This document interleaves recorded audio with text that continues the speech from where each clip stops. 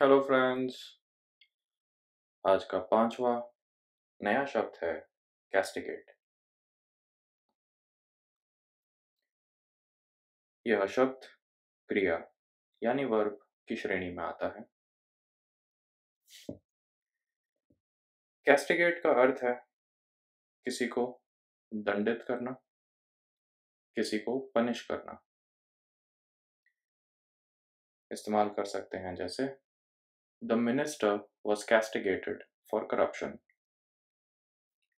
अर्थात, मंत्री को करप्शन के लिए दंडित किया गया। आई होप आपको मीनिंग क्लियर हुआ होगा। प्लीज़ कमेंट सेक्शन में मुझे बताइए।